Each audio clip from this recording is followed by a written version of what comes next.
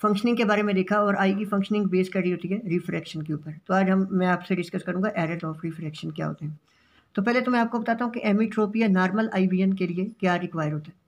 आपने दोनों चीज़ों को पढ़ने के लिए कोई भी एरर ऑफ़ रिफ्रैक्शन है, दो रूल आपने इंपॉर्टेंट बातें याद रख लेनी है, वो क्या है? पहली बात कि जो फोकल लेंथ होती है ना it is inversely proportional to the thickness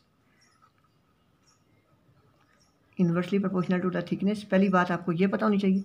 और दूसरी बात क्या है कि जो डिस्टेंस है of the object of object from lens lens के करीब रखते हैं या दूर रखते हैं जो भी डिस्टेंस होता है ऑब्जेक्ट का it is directly proportional to the focal length ये बात आपको बहुत अच्छे से याद होनी चाहिए। अब देखते क्या है कि जो एमिट्रोपिया होता क्या है कि ये नॉर्मल विजन होती है। इस विजन का जनरल रूल ये है कि हमने क्या करना होता है? आ, हमने करना होता है कि डिस्टेंट ऑब्जेक्ट जो है पॉइंट है वहाँ पे पड़े हुए ऑब्जेक्ट को क्लियरली फोकस करना होता है और इसका इमेज बनाना होता है रेटिना के ऊपर। तो आपने बात याद रखनी इसमें क्या करते हैं कि डिस्टेंट ऑब्जेक्ट का क्लियर शार्प इमेज बनाना होता है ऑन द रेटिना तो अब डिस्टेंट ऑब्जेक्ट का अगर रखना है तो आपको पता है यहाँ से कि जो distance of the object from the lens है, जारी बात है जब डिस्टेंट ऑब्जेक्ट को फोकस करें तो इसका मतलब हमें क्या चाहिए? फोकल लेंथ ज़्यादा चाहिए। और अगर फोकल लेंथ ज़्यादा चाहिए तो आपको पता है कि जब फोकल लेंथ हम बढ़ा रहे हैं तो इसका मतलब क्या करें? थिकनेस कम चाहिए। इसका मतलब एमिट्रोपिया के केस में लेंस कैसा होना चाहिए? थीन होना चाहिए। क्योंकि हमें पता है कि लेंस हम इस फॉर्म में भी लेके आते थे लेंस को, ये तो अकोमोडेशन होती थी। लेकिन अब यहाँ पे लेंस कैसा चाहिए? थीन चाहिए। इसका मतलब अकोमोडेशन नहीं चाहिए। तो एमिट्रोपिया के क्या क्या फीचर हुए? कि डिस्टेंट ऑब्जेक्ट को रेटिना पे शार्प इमेज बनाते हैं। दूसरी बात लेंस होता है इसमें थिन और फोकल लेंथ होती है ज़्यादा। थिकनेस होती है कम लेंस की। जबकि और क्या होता है कि इसमें अकोमोडेशन नहीं होती। और जब अकोमोडेशन नहीं होती, आपको पता है कि अकोमोडेशन होती थी due to the contraction of the ciliary muscles तो इस कंडीशन में क्या होंगे? सिलेरी मसल्स होंगे रिलैक्स ये सारा है एमिट्रोपिया, जो कि जर्नल रूल बता दिया आपको जर्नल नॉर्मल आई विजन होती है। अब आपसे मैं डिस्कस करता हूँ एरर सबसे पहला जो एरर है, यहाँ पे डिस्कस किया गया, वो है हाइपरोपिया हाइपर ओपिया अब हाइपरोपिया का मतलब क्या होता है? फार साइटेडनेस इसका मतलब क्या होता है कि जो डिस्टेंट ऑब्जेक्ट है ना, वो तो क्लियरली सीन होते हैं।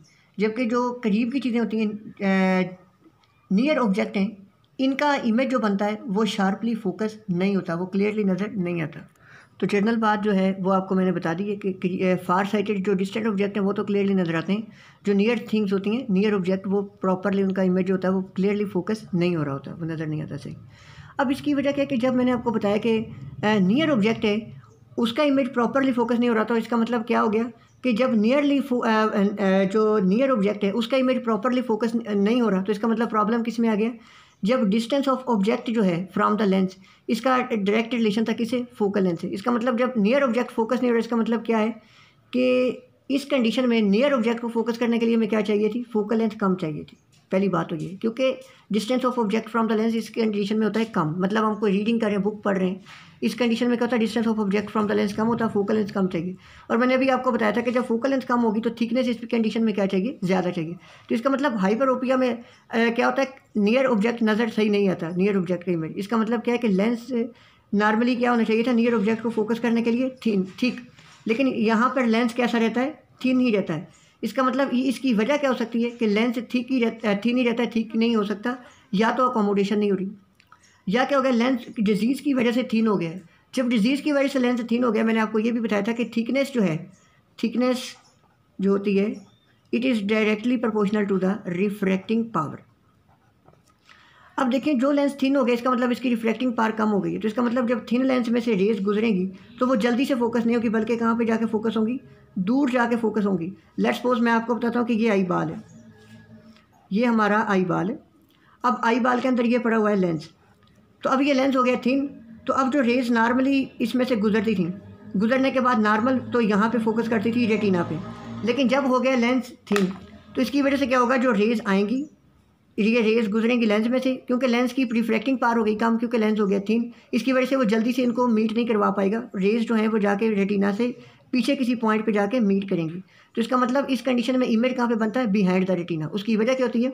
लेंस हो चुका होता है थीन क्यों? क्योंकि जो है इसमें अकोमोडेशन का मैकेनिज्म नहीं हो सकता लेंस ठीक नहीं हो सकता। जिसकी वजह से क्या होता है कि लेंस जो है रेस को प्रॉपर रेटिना पे जहाँ पे मीट करनी चाहिए थी, वहाँ पे मीट नहीं करवा सकता। इसलिए रेस जाके रेटिना के पीछे मीट करनी due to the decrease reflective power of the lens तो एक वजह इसकी हो गई अकोमोडेशन का लॉस हो सकता है।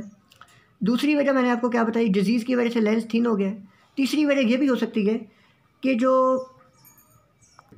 तीसरी वजह ये हो सकती है कि ये आई बाल जो है हमारा आई बाल जो है मतलब ये बिल्कुल ही शॉर्ट है, छोटा सा हो गया आई बाल जब आई बाल छोटा हो गया तो अब क्या होगा? इसके अंदर जो लेंस पड़ा हुआ है लेंस की पावर लेट सपोज़ उतनी है तो अब जो रेज़ आएँगी ऑब्जेक्ट से निकलने वाली रेज़ जो हैं नॉर्मली यहाँ पे मीट करती थी रेटिना का इस पॉइंट पे।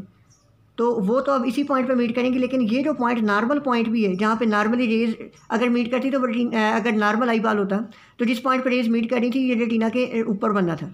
लेकिन अब आई बाल इतना छोटा है कि जो रेज नॉर्मली मीट अपने प्रॉपर डिस्टेंस पे ही करेंगे। लेकिन ये जो पॉइंट जिस पे मीट कर रही हैं, वो पॉइंट रेटिना से आई बाल से बाहर आ रहा है। इसी वजह से इमेज की कहाँ चले गए? रेटिना से बियॉन्ड चला गया।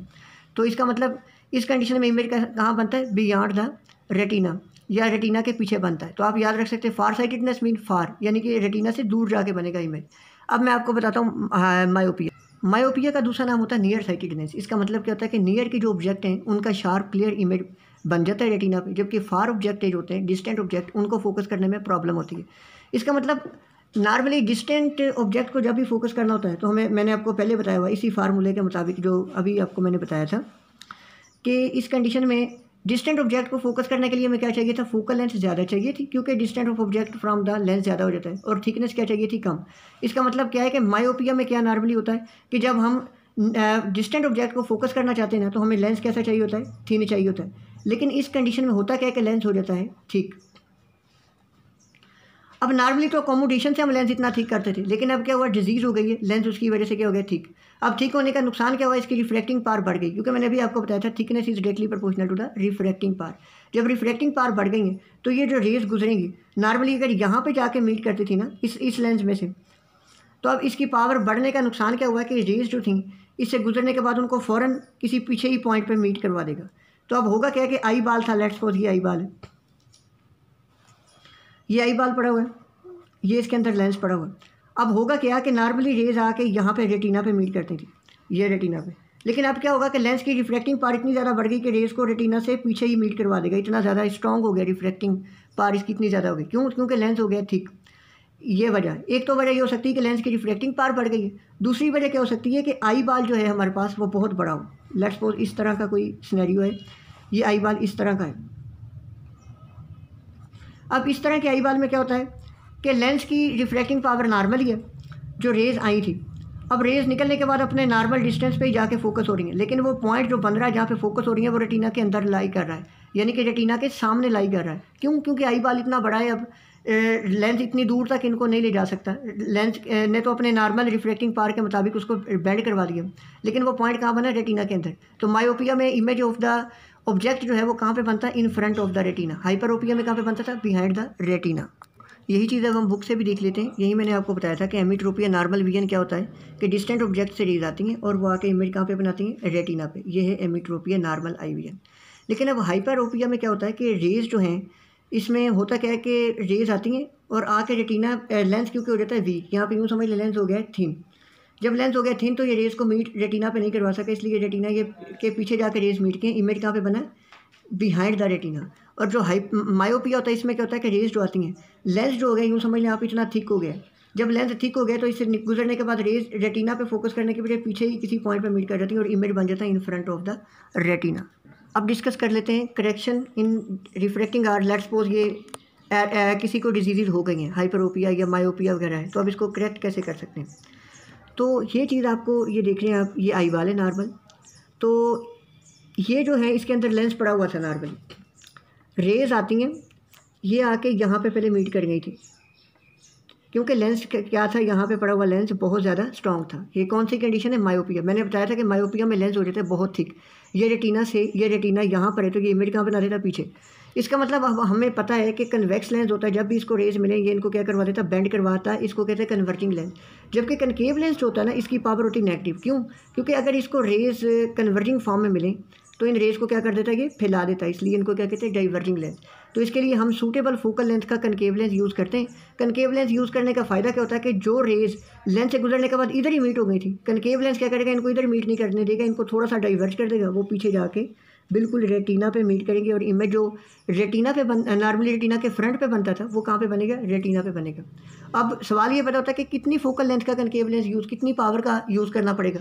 ये डिपेंड करता है कि आपका लेंस कितना मोटा हो गया, कितनी ज़्यादा उसकी पावर बढ़ गई, कितना उसको कम करना यानी सिंपली हम क्या करें? थिक लेंस की पावर बढ़ जाती है। क्योंकि अब लेट्स सपोज़ कन्वेक्स लेंस की पावर होती है पॉजिटिव हम नेगेटिव पावर दे रहे हैं कनकेव लेंस की ताकि इसकी पावर हो जाए कम, क्योंकि इसमें रिफ्लेक्टिंग पावर हो चुकी है ज़्यादा। और वो कितना ज़्यादा, कितनी पावर का हम कनकेव लेंस यूज़ करें, ये डिपेंड करता है हमारा लेंस कितना ठीक हो गया। अब लास्ट मैं आपको बता दूँ कि हाइपरोपिया हाइपरोपिया में क्या हो चुका होता है लेंथ हो जाता है बहुत ज़्यादा थिन जिसकी वजह से इमेज रेटिना के बियॉन्ड बनता है यहाँ पे। अब हम क्या करते हैं कन्वेक्स लेंस यूज़ करते हैं, क्योंकि कन्वेक्स लेंस की पावर होती है पॉजिटिव यानी अब यहाँ पे रिफ्लेक्टिंग पावर हो चुकी होती है कम। जब हम एक और कन्वेक्स लेंस यूज़ करेंगे तो इसकी भी पॉजिटिव पावर इसकी भी दोनों मिलकर क्या कर देंगे? इसकी रिफ्लेक्टिंग पावर को बढ़ा देंगे जिसकी वजह से रेज नॉर्मली जो पीछे बैंड करती थी अभी ये स्ट्रॉन्ग हो गया। रेज बिल्कुल रे, रेटिना के जो बियॉन्ड जाके मीट करी थी अभी ये बिल्कुल उनको रेटिना पे मीट करवाएगा। तो जिसकी वजह से मीट कहाँ बनेगा बियॉन्ड की वजह इन इन द रेटिना बनेगा। तो इस तरीके से शार्प फोकसिंग होगी। इसका भी इसी तरह के कितना हमारा लेंस वीक हो गया है उसके मुताबिक पावर का हम कन्वेक्स लेंस यूज़ कर सकते हैं, एक सूटेबल कम्बिनेशन यूज़ करते हैं, ताकि एक प्रॉपर विजुअल एक्विटी हो। अगर आपको कोई क्वेरी हो, आप मेरे कमेंट सेक्शन में बता सकते हैं। Thank you very much